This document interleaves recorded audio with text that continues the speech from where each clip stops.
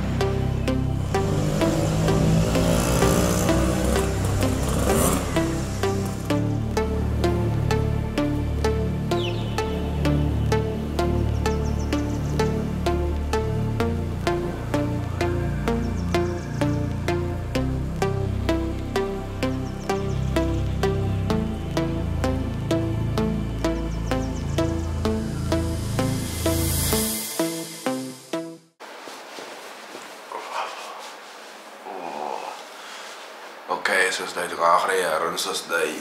ធីមរណាទាំងអស់គ្នាគេញ៉ាំនេះគឺ free breakfast ហើយគេថាគេនឹងយកមកឲ្យដាក់លើតុក្រៅឲ្យអឺយកមកគេ free គេផឹកឡើងដល់ម៉ោង9ដល់ម៉ោង9 10នាទីចេញទៅក្រៅ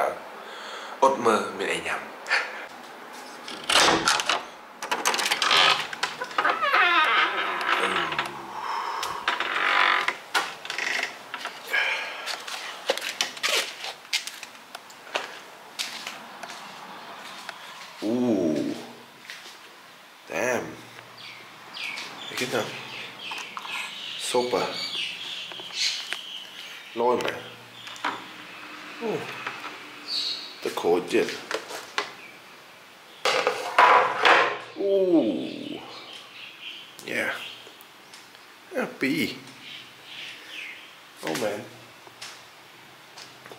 បន្ទប់ខ្ញុំគឺក្រៅពីអញ្ចឹងគេ free breakfast ដុបអូអែមបណ្ដោយតែប៉ុណ្ណេះរួចបាយថ្ងៃអែម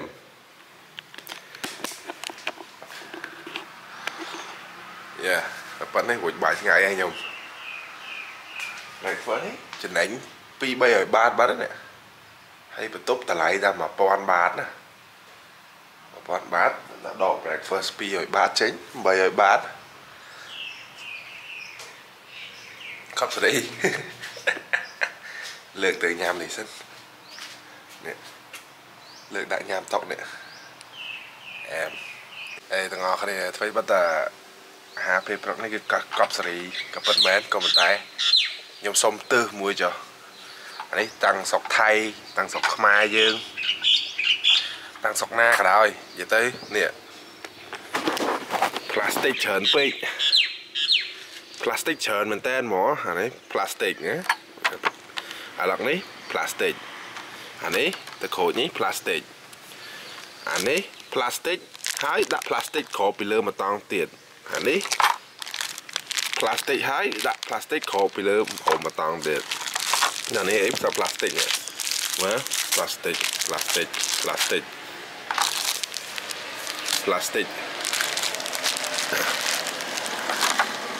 plastic plastic plastic plastic plastic ច្រើនពេកហើយនេះខបយ៉ាសបោផ្លាស្ទិកពេកបើកាត់បន្ថយអាហ្នឹងបានអែមកាន់តែអែមបើកាត់បន្ថយផ្លាស្ទិកបានកាន់តែខ្លាំងកាន់តែអែមសំខាន់ឃ្លានទាំងអស់គ្នាហើយញ៉ាំមួយសិនហើយទៅដាំទឹកឆុងកាហ្វេមួយសិន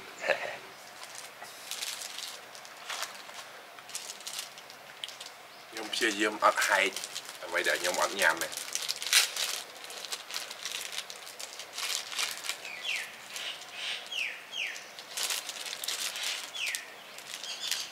អាណាដែលខ្ញុំអត់ញ៉ាំខ្ញុំអត់ហែកទេ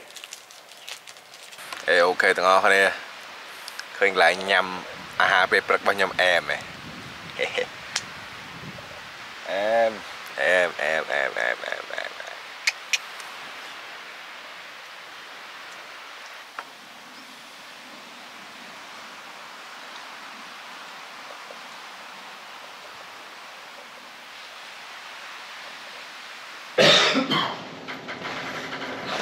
អូ ខេតោះយើងទៅមួយឆ្នេរទៀតទៅមួយឆ្នេរទៀតយ៉ា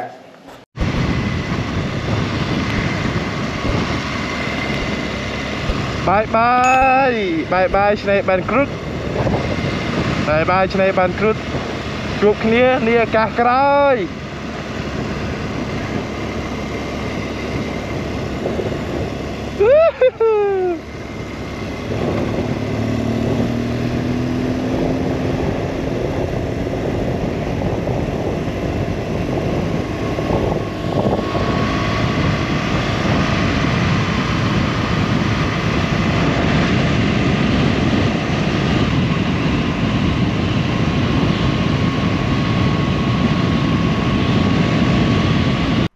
អូខេទាំងអស់គ្នាអឺថ្ងៃទី24នេះ ដែរគឺខ្ញុំចេញពីឆ្នេរបានគ្រុតហើយឆ្នេរបានគ្រុតនេះគឺចម្ងាយផ្លូវវាពីក្រុងថេបក្រុងបាងកកហ្នឹងគឺ340គីឡូទាំងអស់គ្នាបើសិនជាមាន trip ជិះម៉ូតូមកថៃហើយមានពេលអាចមកលេងម្ដុំអឺឆ្នេរខាងត្បូងនៃក្រុងថេបនេះបាន គឺមានឆ្នេរច្រើនមែនទែនហើយទេសភាព ស្អាតដូចទាំងអស់គ្នាបានឃើញនៅក្នុងវីដេអូខ្ញុំអញ្ចឹងហើយស្ងាត់ស្រួលមែនទែនគឺអត់សូវមានភ្ញៀវទេសចរច្រើនទេភាគច្រើននៅម្ដុំនេះគឺភ្ញៀវទេសចរអឺជាតិណាបានន័យថាអត់សូវមានភ្ញៀវទេសចរអន្តរជាតិច្រើនទេហើយកន្លែងគេងក៏ថោកគួរសមហើយស្អាតសំខាន់គឺទេសភាពស្អាតហើយស្ងាត់ស្រួលហើយមានកន្លែងបោះតង់ក៏ច្រើន resort មានអីច្រើនអញ្ចឹងបើសិនទាំងអស់គ្នាមានពេលអាចមកដល់ខាងក្រោមនឹងបាន មកដល់ពាក្យខាងត្បូងនេះបានគឺល្អមែនតើខ្ញុំ recommend មកដោយសារវាស្អាតស្ងាត់ស្រួលមែនតើ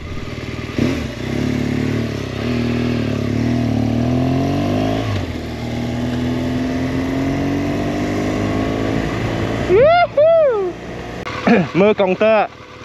មើលកុងទ័រ trip 1 5555គីឡូអានឹង500ម៉ែត្រ5555គីឡូ500ម៉ែត្រ ហាហាកັບសេរីជោគជ័យវ៉ាឡាឡាឡាឡាឡាឡា5555គីឡូចុច500ម៉ែត្រទាំងអស់គ្នា Yes ថ្ងៃ8ខែ8ថ្ងៃ16ឆ្នាំ2023អែម ទៅមុខទៀតយើងអូខេឈប់មើលផ្លូវតិចទាំងអស់គ្នាឈប់មើលផ្លូវតិច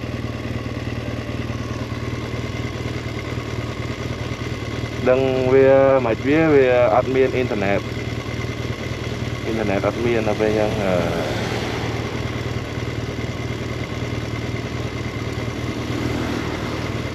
អើមើលផ្លូវម្ដងមួយម្ដងមួយម្ដងមួយ យ៉ាឥឡូវយើងជិះបាន100គីឡូទីទៀតដល់កន្លែងយើងសម្រាប់សម្រាប់យប់ហ្នឹងហើយហើយអឺអត់ប្រញាប់ទេព្រោះឥឡូវម៉ោងទៅ2 10កន្លះទេថ្ងៃនេះជិះតាម150គីឡូហើយហើយខ្ញុំគ្រប់តាំងព្រលឹមនោះ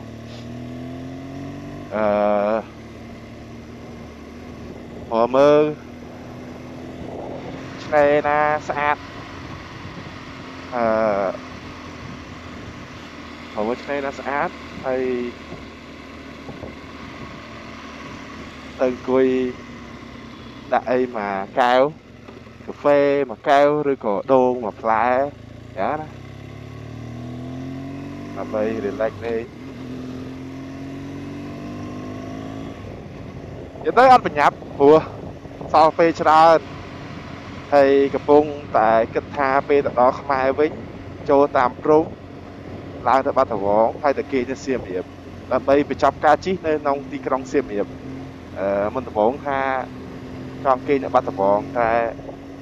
ចូលដល់បាត់ដំបងហើយថែមដល់សៀមរាបបណ្ដោយអូស្អាតមែនតើបងប្អូនមើលកប់សេរីមែនតើបងតំបន់នេះស្អាតខ្លាំងអឺយ៉ាទៅបញ្ចប់នៅសៀមរាបហើយបានមកជប់លៀងនៅនៅហាងខ្ញុំនៅបែរ Nature Store វិញថ្ងៃទី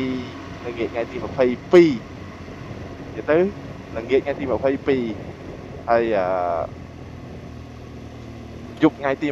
21គឺយើងបញ្ចប់នៅសៀមរាបនិយាយទៅមួយថ្ងៃនេះគឺខ្ញុំជិះផ្លូវទូចរហូតបងប្អូនខ្ញុំ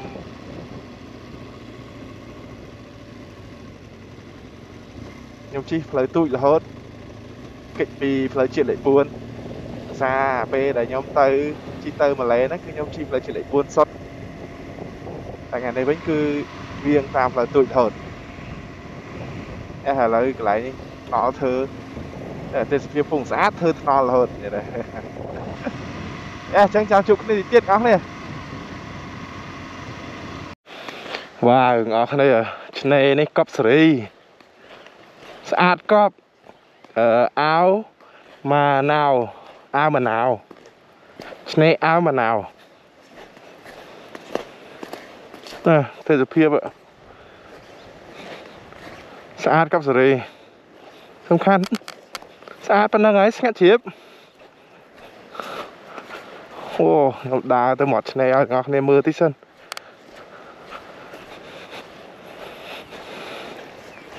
ពេលខ្ញុំអឺជិះ ពេលខ្ញុំជិះទៅសិង្ហបុរីពេលផ្លូវទៅខ្ញុំអត់បានចូលឆ្នេរនេះទេខ្ញុំជិះវៀងខ្ញុំទុកពេលមកវិញតែកំតែខ្ញុំឈប់ញ៉ាំបាយនៅនោះញ៉ាំបាយនៅភ្នំនោះទៅទៅម្លងគ្នាកណោអូមកកប់ស្រីស្អាតមែនតើទាំងអស់នេះគឺអឺស្អាតខ្លាំងមែនតើមកអូស្រុកខ្មែរយើងមិនមានឆ្នេរស្អាតស្អាតចេះតែសុបាយបោះតង់ដើរលេងមិនទៅ ច្រែនស្រុកគេស្រុកគេមានកន្លែងដើរលេងច្រើនណាស្រុកខ្មែរយើងមានកន្លែងដើរលេងតិចអូស្អាតខ្លាំងហើយបងប្អូនអើយអាស្អាតមែនតើយ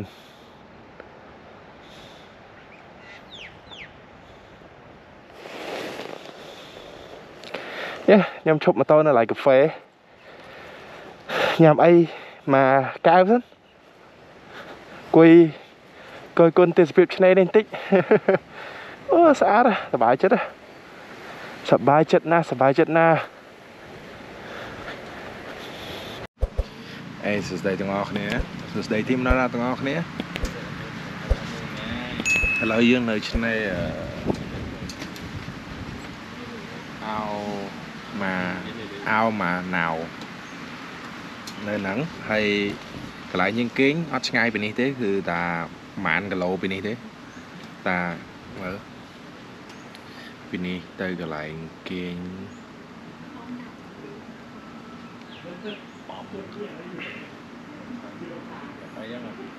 កន្លែងយើងគេងគឺ300យុទ្ធ300យុទ្ធ beach វាមើលប្រហែលគីឡូចេះអ៊ីនធឺណិត2ថ្ងៃនេះដើរ slow មែនតែនហ្មង វាអត់ដឹងថាហេតុអីមកពីម្ដុំនេះអត់សូវមានសេវាមកទៅអឺថា100គីឡូជាងពីនេះចាអឺមនេះ100គីឡូពីនេះទៅអញ្ចឹងស្រែ100គីឡូស្អីតា71គីឡូហ្នឹងនេះវាលោតមក71គីឡូអឺអញ្ចឹងជី1ម៉ោងឥឡូវម៉ោង1 អង្គុយលេងនេះសិនដោយសារទេសភាពស្អាតខ្លាំងបងប្អូនគ្នាហើយនិយាយទៅអឺចង់ប្រាប់បងប្អូនគ្នារឿងមួយតាក់ទងនឹងការថតអញ្ចឹងណាពេលខ្លះអឺពេលដែលទេសភាពស្អាតចេះខ្ញុំខ្ញុំអត់សូវចង់កាន់កាមេរ៉ាគិតពីរឿងថតពេកកាមេរ៉ាធំ B-roll ផងកាមេរ៉ា vlog vlog ផងកាមេរ៉ាថតរូបសន្លឹកផងអីផងអញ្ចឹងណា វាដល់ពេលខ្ញុំគិតពីរឿងថតពេកខ្ញុំភ្លេចថាភ្លេច enjoy សម្រាប់ខ្លួនឯងណាភ្លេចភ្លេចស្រូបស្រូបយកបរិយាកាសនេះអឺសម្រាប់ខ្លួនឯងណាដល់ពេលអញ្ចឹងពេលខ្លះខ្ញុំមានអារម្មណ៍ថាចង់ស្រូបយក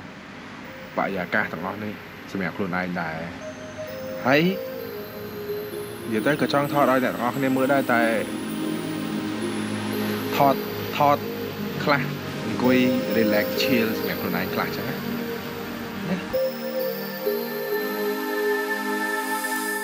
ទួយបា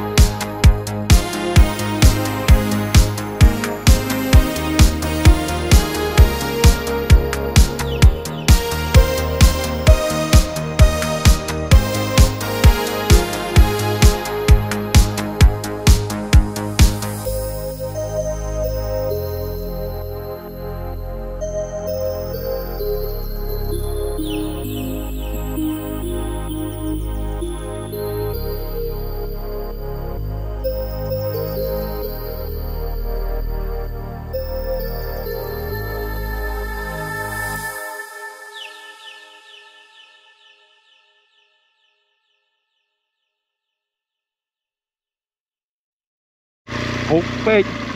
ពីឡើងអស់ផ្លូវទៅណាទៀតទៅមើល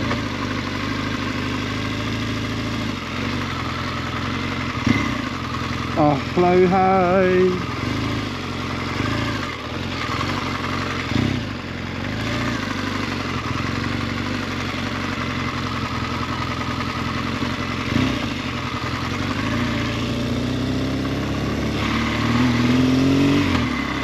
ទីឡើងអស់ផ្លូវ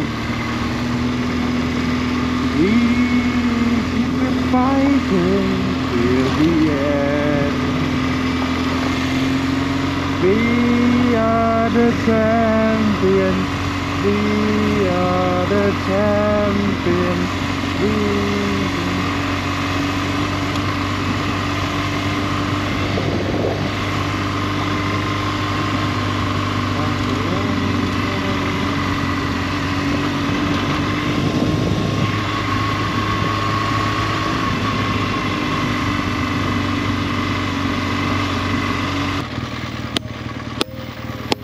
អូខេទាំងអស់គ្នានោះជឿទេសភាពខាងមុខខ្ញុំអូ my god ស្អាតខ្លាំងមែនទែនបងប្អូនខ្ញុំស្អាតពេកខ្ញុំឈប់មើលអត់ហើយខ្ញុំបាត់ចូលគៀនវាយសញ្ញោខ្ញុំឈប់មើលសិនខ្ញុំស្រោបយកវាអស់ស្រោបយកវាអស់ចូលក្នុងបេះដូងស្រោបយកវាអស់អូស្អាតខ្លាំងបងប្អូនខ្ញុំស្រោបយក សម្រស់ធម្មជាតិនេះដាក់ក្នុងបេះដូងខ្ញុំដាក់នៅក្នុងការចងចាំរបស់ខ្ញុំក្នុង memory របស់ខ្ញុំអូស្អាតខ្លាំងណាស់ស្អាតខ្លាំងណាស់តោះយើងគិតទៅចិត្តវាតិចទៀតអូបងប្អូនគ្នាអាហ្នឹងអឺគឺជាអូសៀនជាតិ93យុទ្ធអឺនៅខេត្តប្រជុំគិរីខណ្ឌអឺនៅប្រទេសថៃ បើសិនជាទាំងអស់គ្នាមានពេលគួរតែមកលេងកន្លែងនេះមកលេងឆ្នេរ93រយុទ្ធហ្នឹងហើយនឹងមកលេងអាភ្នំ93រយុទ្ធហ្នឹងគឺស្អាតខ្លាំងមែនទែនអូ my god បងប្អូនគ្នាស្អាតខ្លាំងអអូយើងជីទៅជីចូលច្រឡងភ្នំហ្នឹងហ្មងពេលដែលខ្ញុំ ពេលដែលខ្ញុំជិះទៅសិង្ហបុរីខ្ញុំជិះកាត់ហ្នឹងដែរតែខ្ញុំជិះចេញពីភ្នំហ្នឹងមកវិញណាអញ្ចឹងឃើញទេសភាពអត់សូវស្អាតដូចជិះចូលចេះនេះបងប្អូនគ្នាមើលជិះចូលទៅក្នុងគេដូចយើងជិះចូលទៅហ្មងទៅភ្នំហ្នឹងហ្មងអូកប់សេរីបងប្អូនគ្នាហើយឥឡូវម៉ោង7កន្លះទេពេលដែលខ្ញុំទៅដល់ឆ្នេរខ្ញុំនឹង relax ខ្ញុំនឹងអង្គុយស្រូបយក បរិយាកាសធម្មជាតិនេះឲ្យអស់ឲ្យអស់ចិត្តមុននឹងត្រឡប់ទៅប្រទេសកម្ពុជាយើងវិញ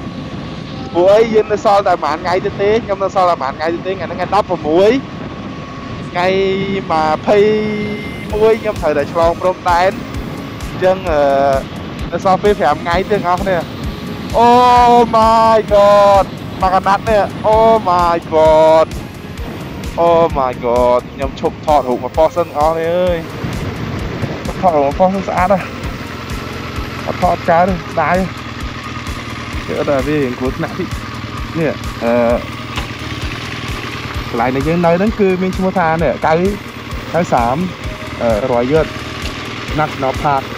កន្លែងហ្នឹងកន្លែងយើងនៅហើយ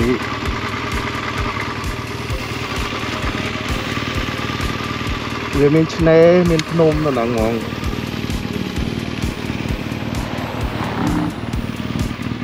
អូអែបខ្លាំងមែនតើ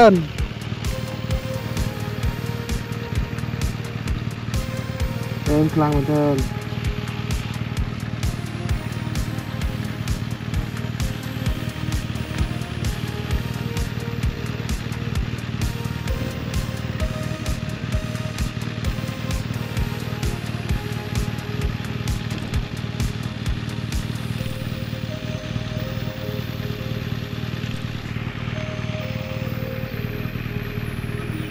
ដឹងថាហុកថតចេញមកស្អាតដូចភ្នែកខ្ញុំមើលទេតែថតទុកជាអនុស្សាវរីយ៍សម្រាប់10 20ឆ្នាំទៀតយើងមើលត្រឡប់មកវិញថាអូនេះណាអើយនេះណានេះប៉ាបានទៅដល់កន្លែងនេះប៉ាបានទៅដល់កន្លែងនេះពួតប្រាប់កូនស្រីខ្ញុំណាទៅពួតប្រាប់កូនស្រីខ្ញុំ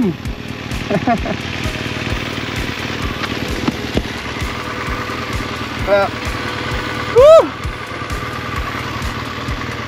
បាទយើង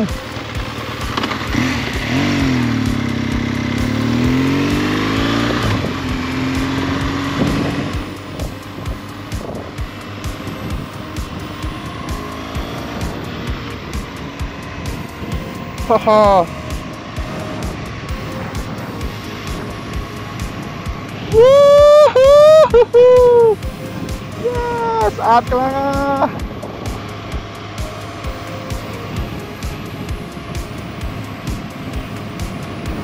Oh my god, over here. Look at that. Look at that.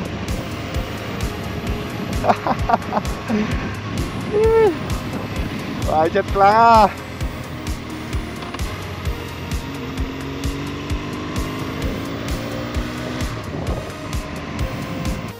อันนี้อันนี้อันนี้หากิโล อันนี้หากิโล อันนี้หากิโลโลนะสิบกิโลเออไม่ได้เหรอមកដល់កន្លែងគេឡើងទៅមើលទេសភាពអីក៏ប៉ុន្តែត្រូវឡើងទៅ725ម៉ែត្រហើយ725ម៉ែត្រជាមួយនឹងបែកជើងហើយក៏អាវខ្ញុំគឺស្លាប់តែម្ដងអត់ព្រោះទេអញ្ចឹងហេយើងជិះទៅឆ្នេរវិញ ក៏អរគុណครับអរគុណครับយើងជិះទៅឆ្នេរវិញគាត់ដើរមកប្រាប់មិញថាត្រូវឡើងទៅដើរ725ម៉ែត្រ អញ្ចឹងយើងឆ្នេរមានឆ្នេរយើងនៅ6 10គីឡូទៅដល់ឆ្នេរ តោះយើងទៅ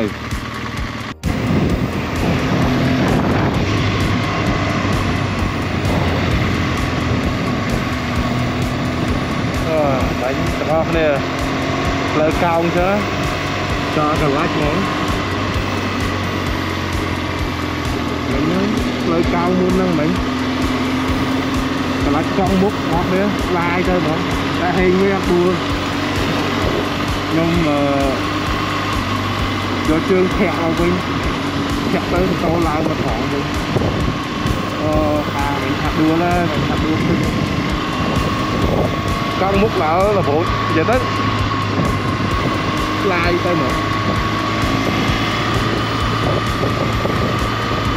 Hãy subscribe cho kênh Ghiền Mì Gõ Để không bỏ lỡ những video hấp dẫn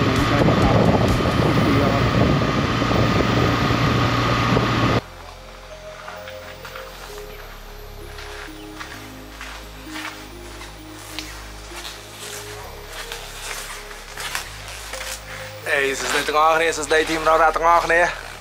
យ៉ាឥឡូវគឺមកដល់អឺឆ្នេរ93យុទ្ធនឹងវិញហើយហើយខ្ញុំ check in គេងបន្ទប់ដដែលដែលសារឲ្យវាថោកតែ600បាតទេហើយអឺគឺកន្លែងចតម៉ូតូដោយទាំងអស់គ្នាបានឃើញកាលវិភាគ2ភាគ3អញ្ចឹងគឺសុវត្ថិភាពបំផុតដោយសារវានៅខាងក្នុងទល់មុខបន្ទប់ហ្មងហើយយ៉ាគឺអឺអូ auto focus កាមេរ៉ារត់រហូតកាមេរ៉ាចង់ខូចទេទៅ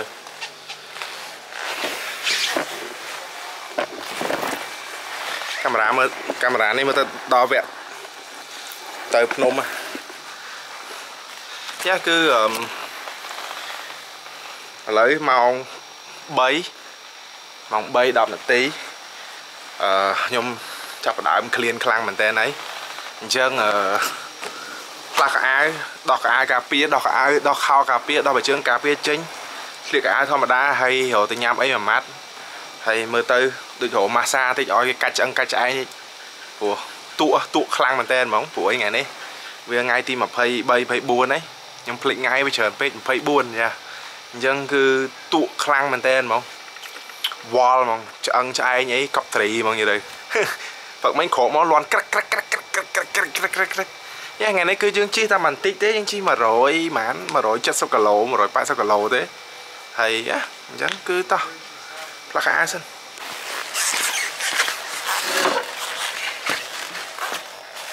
អូទាំង អស់គ្នាដឹងបាយជើងមួយគូនេះប្រហែលគីឡូអត់នេះបាយជើងនេះគឺម៉ាក Gane model វា SG12 វាជាបាយជើង Enduro បាយជើងពាក់អាត្រៃទេជាអាត្រៃទេតែខ្ញុំខ្ញុំយកសុវត្ថិភាពជាចម្បងគឺខ្ញុំពាក់នេះមកនេះបោកអ៊ីតាលីផលិតលើប្រទេសអ៊ីតាលីហ្មងមានលក់នៅហាងខ្ញុំ by Nature Store តែទាំងអស់គ្នាដឹងថាបាយជើងហ្នឹងមួយគូទម្ងន់ប្រហែលគីឡូអត់ គឺមួយគូទម្ងន់វាគឺ5គីឡូកន្លះមួយចំហៀងគឺ2គីឡូបើខាំកន្លះនេះ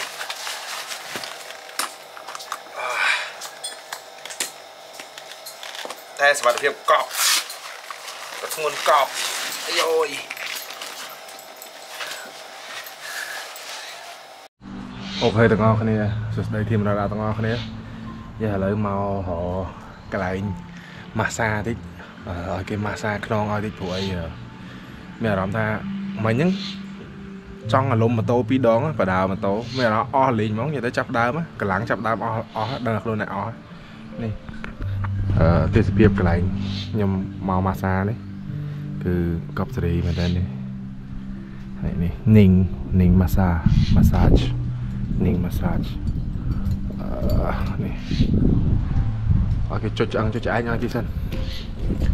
អូខេចុចឆ្អឹងចុចឆ្អែងឲ្យទីសិនអឺឡើងរួយអស់លេងមកនិយាយទៅនេះរួយគ្រប់កន្លែងហ្មងនិយាយទៅពីក្បាលដល់ចុងជើងអឺមានអីទៀតបើរាប់ពាន់គីឡូហើយ6 6000គីឡូឡើយស្អែកហ្នឹងគ្រប់6000គីឡូហើយបងប្អូនស្អែកហ្នឹង អេសួស្តីទាំងអស់គ្នាសួស្តីធីមរ៉ារ៉ាទាំងអស់គ្នាមិញហ្នឹងថាទៅម៉ាស្សាឲ្យស្រួលខ្លួនមានណាមីងនោះគាត់កាច់ខ្ញុំកាច់ចង់ឈឺលើដើមឥឡូវនេះមើលតែភ្នែកខ្ញុំដឹងហើយឡើងបាក់ហ្មងនិយាយទៅមានអារម្មណ៍ថាភ្នែកខ្ញុំឥឡូវឡើងសតុនយេអស់កម្លាំងពេកដោយសារជិះរាល់ថ្ងៃហ៎ខ្ញុំជិះលេងតាមឆ្នេរនេះមកដល់ចុងឆ្នេរគឺឃើញមានបារនេះមួយឈ្មោះ Longhorn លយទៅតែគាត់ក្នុងនោះជាម្ចាស់បារហ្នឹងគាត់ជា biker ដែរមកនៅស្រុកថៃប្រហែល7 10ឆ្នាំហើយមកពីអាឡម៉ង់មកជាប់នៅថៃ7 10ឆ្នាំហើយលងតារាងនេះអឺអស់នេះនេះគឺម៉ូតូនេះបាគេណានេះបាគេនេះចតម៉ូតូចេះបានហើយបាគេខាងក្នុងនេះញ៉ាំស្លាប់មន់ពងមួយចានបៀមួយកែវហើយចាំទៅកន្លែងគេងវិញ អានេះទេសភាពកន្លែងបានេះនេះកប់ស្រីទៅនេះលើតាមន់ពងមួយម៉ាត់សិនងោះនេះនេះយ៉ាទាំងអស់គ្នាអញ្ចឹងភាគទី24នេះគឺចប់តាមប៉ុណ្្នឹងហើយដោយសារខ្ញុំអត់មានធ្វើអីទេល្ងាចឡើងគឺញ៉ាំបាយគេងដោយសារបាក់មែនតើដូចទាំងអស់គ្នាបានឃើញនៅក្នុង vlog អញ្ចឹងអញ្ចឹងអរគុណគ្នាយើងច្រើនហើយភាគទី25គឺខ្ញុំជីកពី9300យុទ្ធហ្នឹងទៅកាន់ក្រុងថេបវា ចម្ងាយផ្លូវ400គីឡូ3 400គីឡូអឺអញ្ចឹងអរគុណគ្នាយើងច្រើនដែលបានចូលមកមើលតាំងពីដើមរហូតដល់ចប់ហើយអរគុណពិសេសទៅដល់គ្នាយើងដែលមើលតាំងពីភាគទី1រហូតដល់ភាគទី24នេះហើយយើងនៅសល់6មួយភាគទៀតដើម្បីបញ្ចប់ series daily observation បំពេញសិង្ហបុរីនេះអញ្ចឹងគឺអរគុណគ្នាយើងមែនតើក៏ដូចជាអរគុណទៅដល់អ្នកឧបត្ថម្ភកម្មវិធីទាំងអស់ដែលមានដូចជាហនុមានអឺ Payment Top 1ក៏ដូចជា Mega Vicare Gin Cement ឆ្នាំ7កម្លាំងហើយនឹងហាងលក់ហាងលក់នាឡិកាដៃ Classy Watches ហើយដូចជាកាមេរ៉ា GoPro ក៏ដូចជាស្បែកជើង Max Catcher អញ្ចឹងទាំងអស់គ្នា bye bye ចាំជួបគ្នានៅភាគទី25ដែលយើងជិះទៅកាន់ក្រុងថេបហើយយើងបន្តដំណើរត្រឡប់ទៅផ្ទះវិញយ៉ាអញ្ចឹង bye bye ទាំងអស់គ្នា bye bye